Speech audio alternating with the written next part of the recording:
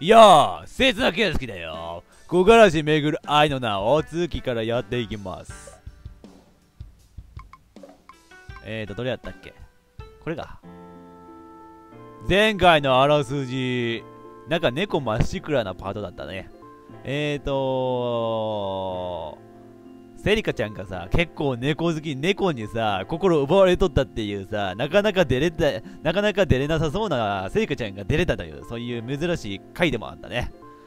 でさ、で、その日の夜でさ、夜になったんやけどさ、この後どうなるんだろうね。なんかパンパンってしつこいぐらいにさ、同じ部分だけ繰り返しやがる BGM が 夜などで少ないんじゃ。まあ少なくてもさ、まあそもそも俺さ、昼にやってもさ、そんなに人数こんけんさ、大して変わらんのよね。ガッハッハッハッハざまあみろ。その日の夜、寝る支度をしていると、机の上に置いてあった携帯電話が着信を知らせる。え、なに普通知非通知でさ、出たらさ、私メリー、あなたの後ろにいるのとかなるんだろうな。大丈夫かな？撮るよ。画面にはモナカの名前が書かれていた。モナカちゃんか。もしもし？春人？こ、こんばんは。どうしたの？こんな時間に。あ、うん。えー、っと、明日って何か用事ある？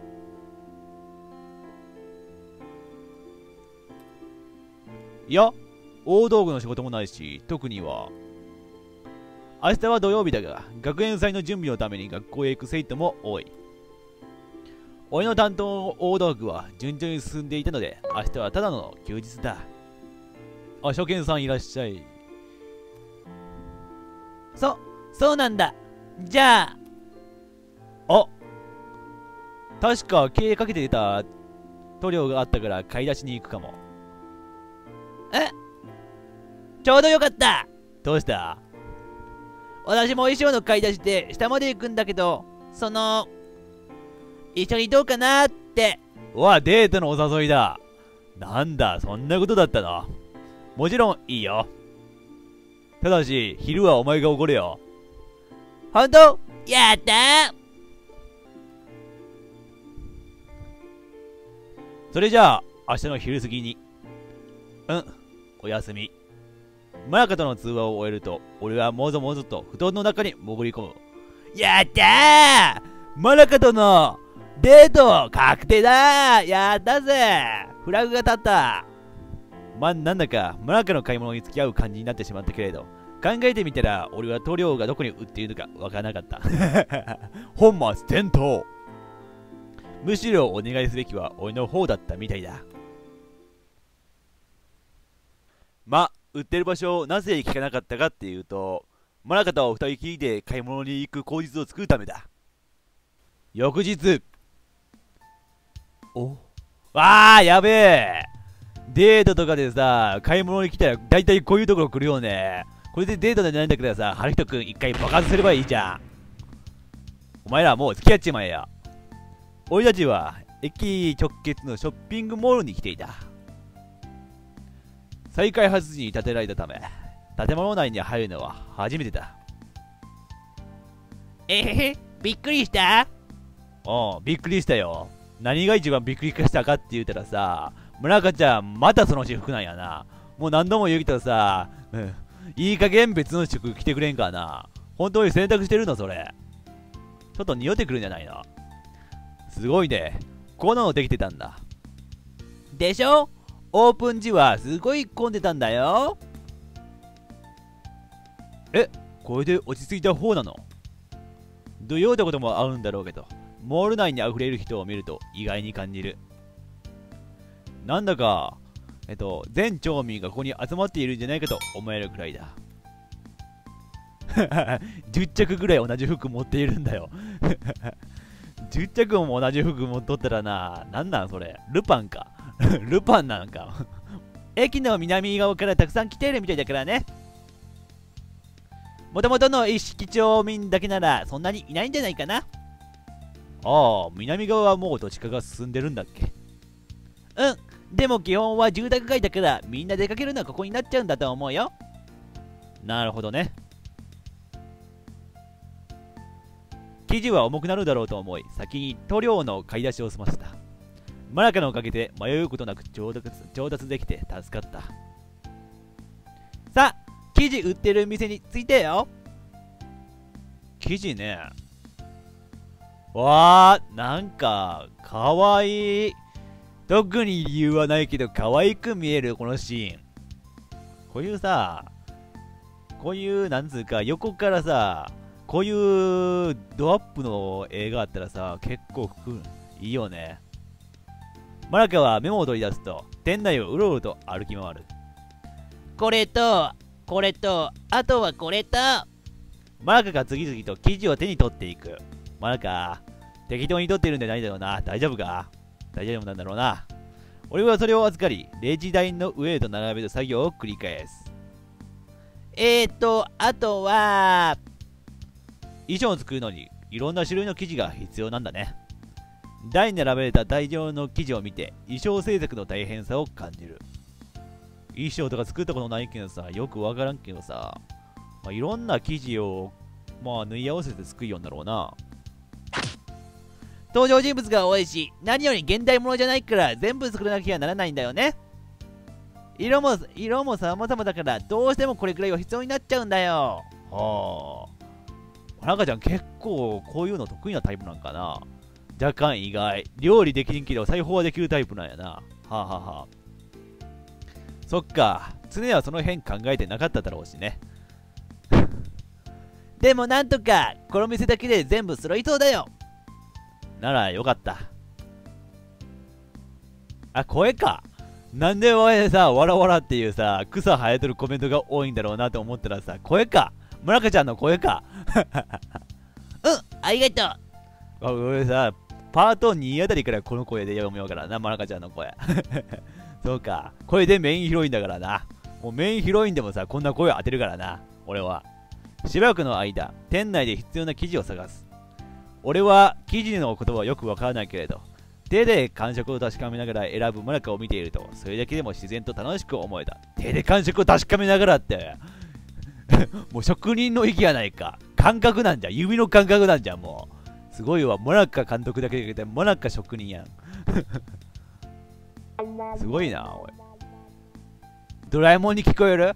いや、それはないわ。こんにちは。僕、ドラえもんです。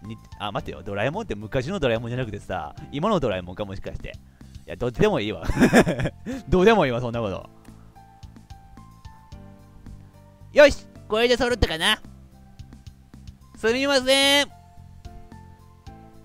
あらかた生地を見つくろうと、マラクが店員に声をかけた。似とんかよ。え？今のドラえもん、水田わさびさんの方？水田わさびさんの方かな？にそんな似てないだろ いや、それはないわ。最近ドラえもん見たいけどさ、どんな声か覚えてないけどさ、そんなこと言われたら、モナカちゃん読むときにドラえもんが脳裏に浮かんでしまうでないか。どうしてくれるんだよ。これを8メ ,8 メーター、こっちの2つを5メーターずつ、あと、店員に必要な長さを伝え、会計を済ませる。よし春日と墓むの手伝ってよ任せといて。そのために来たようなもんなんだから。ありがとうとは言ったものの。おも生地の包みを受け取った瞬間、思わず体勢がガクッと崩れた。おいおいおい、山での山登って足腰鍛えてるんじゃないのか？竹村の言う通り、やっぱり上半身も鍛えておくべきだったか？こんなに重いんだね。ふふ、普段着てるだけだと気づかないよね。少量とはいえ、マラクも両手に紙袋を抱えているが、平気な顔をしている。わ、やばい。一級奥さん、お一級やな。奥さん一級やな、もう。奥さんやけん、こういう紙袋を抱えてもさ、慣れとんやな、こういう重さに。ショッと。包みをしっかりと持ち直し、店を出る。本当はマラクの分も持ってあげたいけれど、さすがに無理があるな。えーと、じゃあか。帰ろっか。そう言うと、マナカはなぜか慌てたように先を歩き出す。いや、ちょっとマナカちゃん、せっかくデパート来たんやけんさ、この後さ、スタバ行こうぜ、スタバ。一緒にスタバでさ、ちょっといろいろさ、もう恋人っぽいようなことしようぜ恋人っぽいようなこと恋人っぽいようなことって言ってさ恋人っぽいようなことってなんだろうなって頭で浮かんだらさ何も出てこんのはさ俺が童貞だからだよマラかちょっと。な、なにどうしたの？ごめん。少し疲れちゃったどこかで一休みからしてから帰らない？スタバやな。もうこれを春人くんスタバでさマラカちゃんとちょっといろいろ語りたいと思ってるタイプやな。あれ？やっぱり重かった？ああ記事のことはいいんだけど。ずっと出歩きっぱなしだからさ。いや、ま、春人くんさ山登りよんだろ？え？山とはまた違うのか？なんだ？このショッピングモール地面がすっごいカチカチでさ歩きにくいんか？そうだね。言われてみれば私も少し足が痛いかも。じゃあすぐそこにあるカフェでいいかな？うん。ありがとう。カフェ。うわガチでスタバっぽいような雰囲気スタバなところ来たぞ。おいおいおいおいおいおい。もうここまで来たらデートとしか言いませんよ。もうデートとしか認めませんよ俺は。これでデートじゃないんだから本当に爆発しなさい二人とも。2人でカフェに入り注文を済ませると。荷物が他の客の邪魔にならないよう奥の席に座った。ふう。マラカも最近だいぶ疲れて見てたよね。一息つく様子を見てつぶやくとマラカはびっくりしたように俺を見る。えそんな風に見えてた？いや俺はそんなには見えんけどななんか元気ありすぎてさ、本当に疲れとんかちょっと疑問に思ってくる。疲れとるはずなんやけどな。ああ、うん。いつもお忙しそうにしてるから、ちょっと心配してて。なんなら肩もももか？その流れでおっぱいもボインボインしようか？今の忘れてください。そっか正直言うと、少しね。やっぱり全体管理って大変なんだね。中間管理職になったらさ、こんな感じだぞ、マラカちゃん。利根川も、カイジの利根川もこんな感じの仕事をしてるんだぞ、お前。そう考えたら利根川ってすごいな、みんな。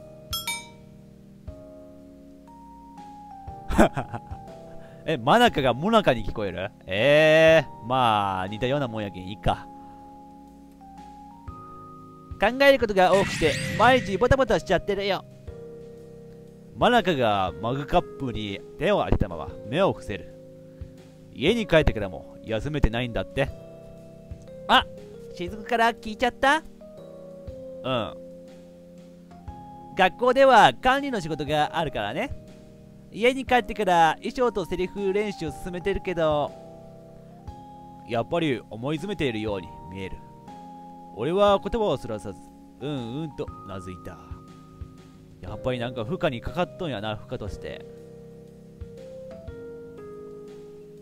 台本の読み合わせにも全然参加できてないから申し訳ないよ。セリカ、セリカ、怒ってない？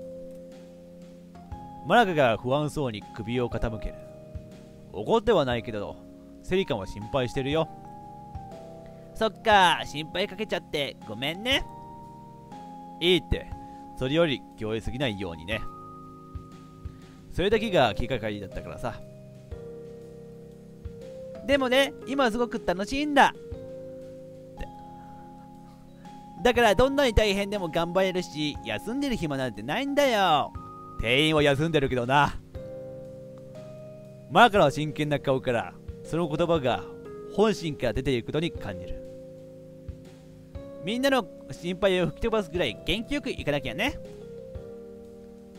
相変わらずガッツはあるなマナカは。そういうところはほんと感心するよ。ああ青春に負けてられないからね。青春に勝ち負けとかつけよんかマナカちゃん。君は青春のことをどう思ってるんだ。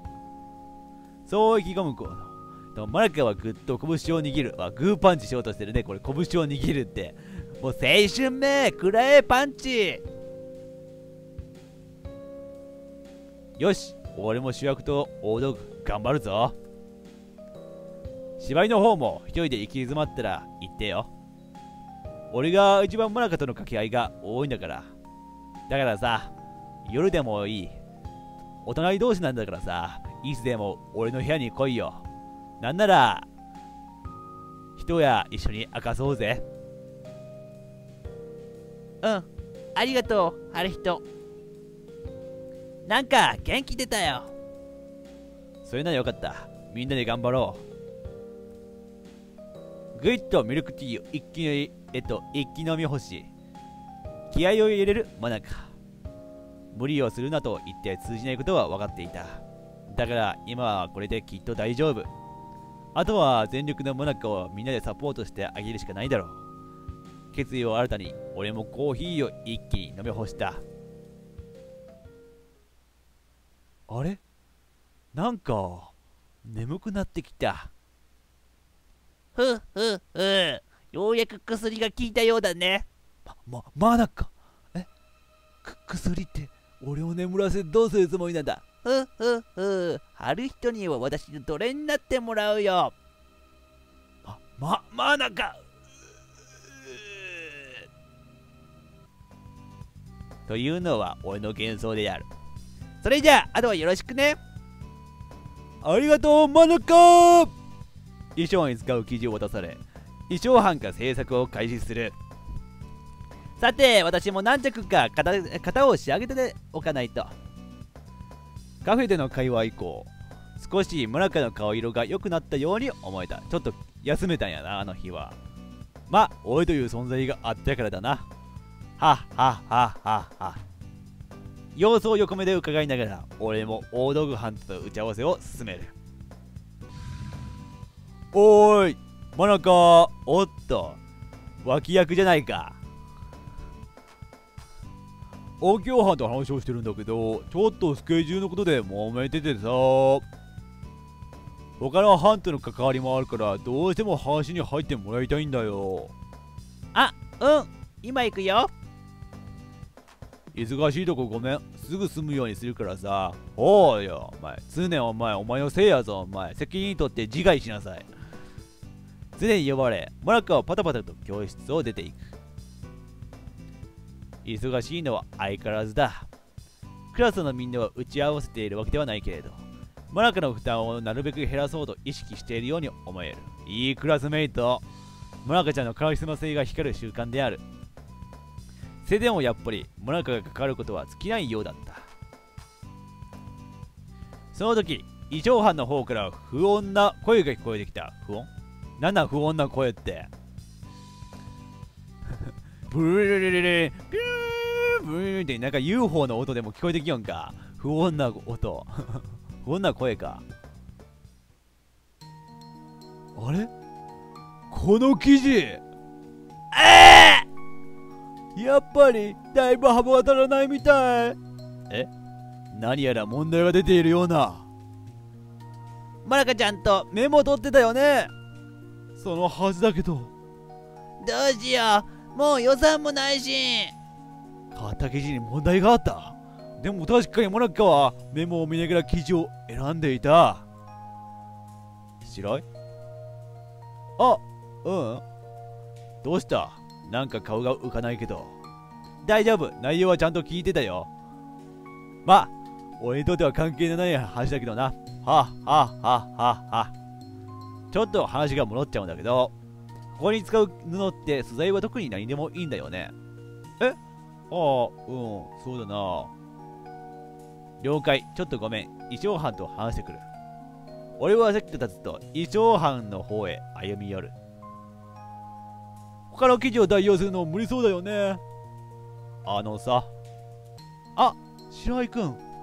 ごめん話聞こえちゃって。なんか記事に不備があったんだよね。うん。その記事なんだけど大道具の方に回してくれないかな。でも。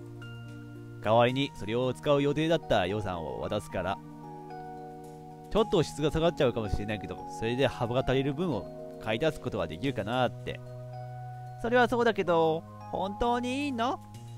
うんこっちは特にこだわりのない部分だから大丈夫それに買い物は俺も一緒だったから責任がないこともなくてまマナカが選んだから本当はマナカの責任だけどな。カッカッカッカッカ。何か本当にあったらマナカの責任します。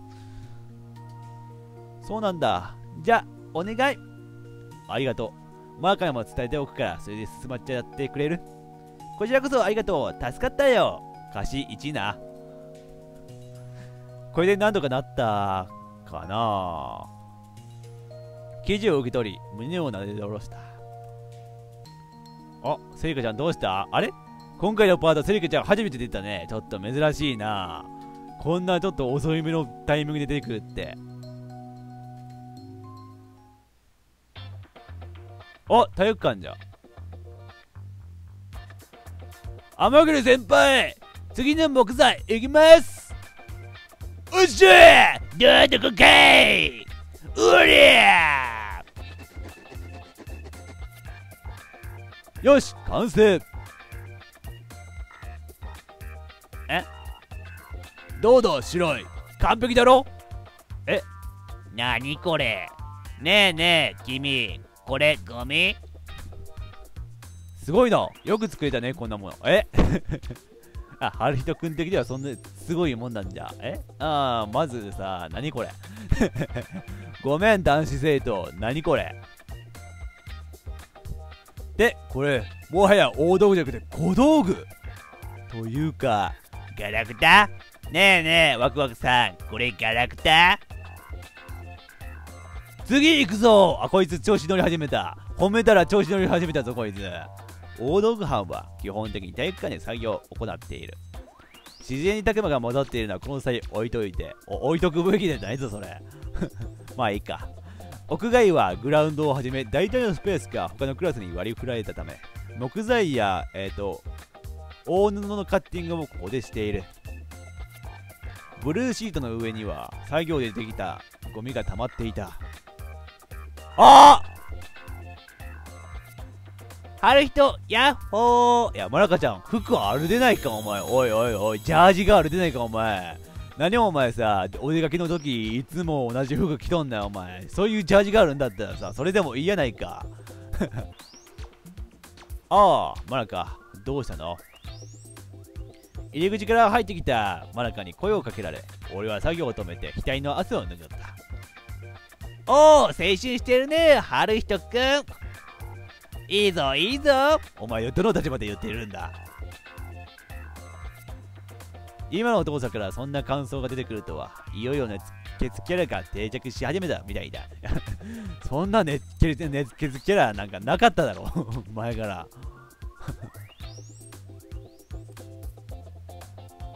おうマネか。また楽しそうなことあったら教えてくれよなめっちゃ地味なことしてるね。ありがとうたくま。こっちも助かってるよ。へえいいってことや。それで何があったの？ああうん。作業中にごめんね。シーン切り替え時の大道具の移動についてなんだけど。担当で春人かな？同一の動かし方だよね。それなら俺じゃなくてなんて読むこれ？円だ？エンダー。エンダーかな。エンダかな。ありがとう、そうたくん。はいよ。エンダお前、その歌を受け入れるな、お前。要するにモブキャラ扱いされてるぞ。まあ、モブだけどな。少し時間いい？大道具の移動ってさ、マラカがエンダと話し始めたのを見届け、俺も作業を再開する。あ、これあれじゃ。見届けっていうのはちょっとさ、あれ、エンダに焼き餅焼いてるからな、お前。俺のマラカと話してんじゃねえ。5分以上話したら殺すぞって感じやけんな。エンダをなあだ名で呼ぶのはもうちょっと仲良くなってからじゃないと無理だな。いやさあだ名なそのオタクってあだ名なあだ名だったらさ、結構ディス吐いてるね。おい、マラカちゃん。さらっとディス吐いてることになるからな、おい。そのオタクんって。なあなあ、白い。ん？隣で小道具を作っていた生徒がひっそりと声をかけてくる。なんだお前、サボってんじゃねえぞお前。俺の立場をなめんなよ。大道具の班長やぞお前。どうしたの？ヤス。ヤスって名前あるんだ。ヤスお前。なんなんヤスって。なんなん犯人はヤスか？なんか事件があったらお前が犯人やけんな。もうじ、え、お前が関連なくてもさ、お前が犯人になるからな、ヤスお前。白井ってコスメさんと幼馴染なんだよなそうだね家が隣だから羨ましいだろはははははははいいよな俺もあんな可愛い子とを幼馴染になりたかったぜ無理だねそんなに羨ましいことかな？ヤスにも小さい時からの付き合いとかあるんじゃないの？あ、ないかはははやつは高校から黒町に来ているため、村中たちとも高校からの仲らしい。ま、やつはそんなに村中から覚えられてないらしいけどな。やつにだって幼い頃に過ごした友達がいると思うのだけれども。春人くん、そんなことを言ったらかわいそうだよ。やすくん友達いないんだから。そりゃ、仲いい奴らはいるけどさ、そういうことじゃないんだよ。はずみさんってのが重要だからなえ、なんなんやすお前。え、マラカちゃんのことなんか気になっとやめろ。俺の彼女だ。俺の彼女だからさ、一つ、指一本触れてみろ。お前の存在を消すからな。はあ。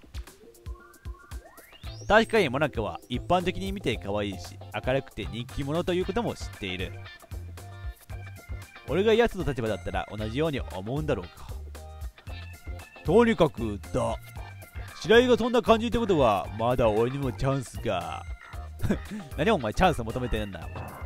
うれーあぼーやすーこの後、やつは病院に運ばれて、5針縫いました。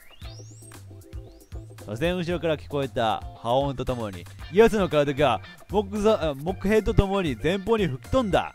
もうドラゴンボール並みの吹き飛び方したんだろうな。なんて言ったってたくまだもん。あたくま何やってんだよま、いいや。あいつは死んでいいやつから。わりわり、つい気合が入っちまってよおい大丈夫かカズ？ヤスだよカズじゃなんかサッカー選手みたいじゃないか。タクマについてヤスのもとへ駆け寄ろうとした時、ちょうど縁田との話を終えた村中が来た。相変わらずやってるね、タクマは。ちょっと村中ちゃん、どうにかしてくれやけん。ちょっと暴れすぎてるんだよ、タクマが。ヤスくん、大丈夫かな？まあ、大丈夫だとは思うけど、俺も見てくれよ。と言いながら、春人は、とどめを刺しに行った。あ、春人ん？もう戻らなきゃなんだけど、ついでだからこの辺のゴミ持って行っちゃってもいい？ああ、ありがとう。適当でいいからね。了解。そう聞いたマラカちゃんは、なんと、ヤスとエンダのことをゴミとして持っていったのである。悪い人大変だ。カズのやつまだ息があるぜ。たくまその言い方だとさカズの息の根を止めてやろうと思っとったみたいな感じになるよ。まあ俺も賛成だけどなそれに。よすー。え？えっと。よすーどうした？ハリト君なぜ2回分けて読んだ？そうで、帰りますか。あれ？常須お前何かやりよった？え、常須もしかしてさ、え？もしかしてこの強濁の下でさ、ずっと引きこもっとったりせんだろうな、お前、常須お前。え？常須お前、本当に引きこもっとったの何だろうな、お前。何しよったん、お前。大丈夫か？みんな、今日もお疲れ様だね。下校時刻になり、俺たちはそれぞれ帰る支度をしていた。佐藤くん帰ったらダメよえねなんでだよえ、なんでって、教託の下でサボよったけんじゃない？ちょっとこの後、付き合いなさい。えセリカちゃんえ常さだともしかして付き合ってるの？え、せ、え、え？ちょ、っと俺そっかな。なんで常選んだかなえ、な、なにちょ、え？それはまさか。なんなの？その反応。あんた、一番セリフ覚えが悪いから、これから補修稽古よ。ああ、なるほどね。よかった。これから付き合いなさいって言うからさ、デートこれからするんかなって思ってないから、びっくりするな、セリカちゃん。まあ、ないとは思っとったけどさ、ちょっとハラハラドキドキさせんなよ、セリカちゃん。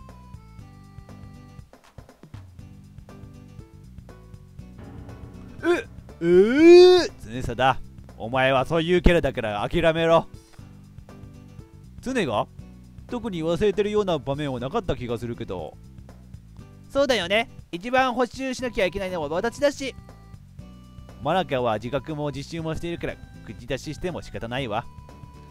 それに他にもやることがあるでしょ例えば、近所の、近所の、近所迷惑だって怒られたからそれに謝りに行ったり、そんなところやね。あうんセリフはね、ただ暗記するだけじゃ覚えたことにならないのよ。え、どういうこと？物語の前に世界があって、私たちはそこに生きる人物を演じてるわけでしょ。うんうん。セリフだって生きた人と人の会話よ。うんうん。うんうん二人とも真剣に成果の話に耳を傾けている。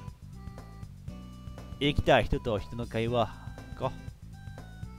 原因があるのかわかないのかわからないけれど、佐藤君のセリフは独り言なのよ。うんうん。うん それはさ、聖火様、常のことをさ、ぼっちって言いたいのか、遠回しにぼっちって言いたいのか、正解だよ。今ので理解できていたら補修なんて必要ないわ。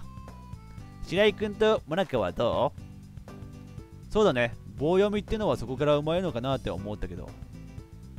わかりやすい例がそうね。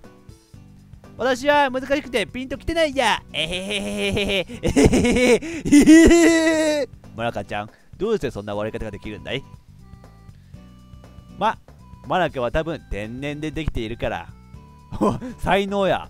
セレカちゃん、それ遠回しにセえモナカちゃんには才能があるよって遠回しに言ってるな。とにかく佐藤君にはそのあたりをちゃんと改善してもらわないと。うーん、よくわからんけど、姫のためならばこの命捧げる所存。当然よ、ビシビシ行くから覚悟しなさい。はい。白目。それじゃあ、二人ともまた明日ね。あ、うん、また明日。ツーだファイトこの後、今後、スネスダが出てくるときはあるのだろうか。よし、じゃ、ちょっと時間が時間なんでさ、多分、ツネスはこの後、セリカちゃんにめっちゃ無知でしばかれることでしょう。それがどんどんどんどん、ツネスダが性癖を表してくるきっかけになるのであった。というわけで、今回はこの辺で。というわけで、とりあえずさ、文化祭の準備しよるみたいな、そういうパートがちょっと2、3パートぐらい続くんじゃないかなってちょっと思うわけで。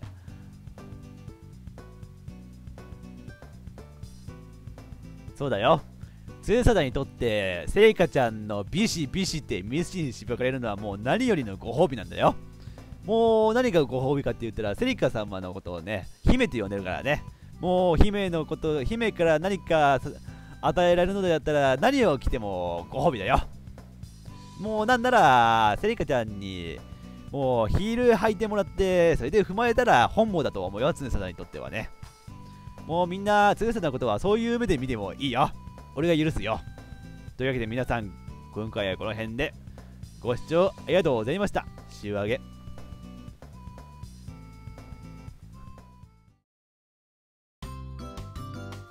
ほんともなかちゃんは可愛いよな。天然で、ちょっと同時で、それでも頑張り屋でさ、みんなのことを見とって、でさ、今回は新しい服も服装も見えたし、何よりデートできて、春人くん、羨ましいわ。って、これ、モナカやないかい。